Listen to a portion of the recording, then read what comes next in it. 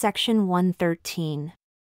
A revelation given to Joseph Smith Jr. at Kirtland, Ohio, November 3, 1835. Thus came the word of the Lord unto me concerning the twelve.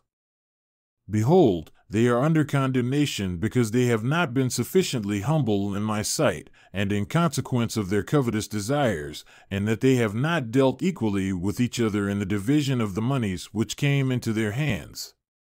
Nevertheless, some of them dealt equally, therefore they shall be rewarded.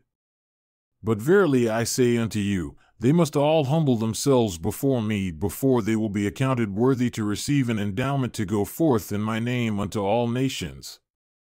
As for my servant William Smith, let the eleven humble themselves in prayer and in faith and wait on me in patience, and my servant William shall return.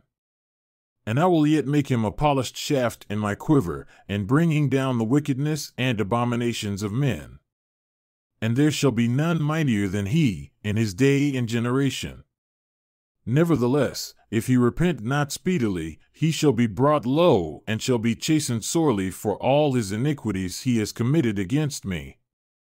Nevertheless, the sin which he has sinned against me is not even now more grievous than the sin with which my servant David W. Patten, my servant Orson Hyde, and my servant William E. McLellin have sinned against me.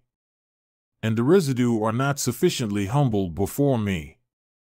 Behold, the parable which I spoke concerning a man having twelve sons, for what man among you, having twelve sons, and is no respecter to them, and they serve him obediently, and he says unto the one, Be you clothed in robes, and sit you here, and to the other, Be you clothed in rags, and sit you there, and looks upon his sons, and says, I am just.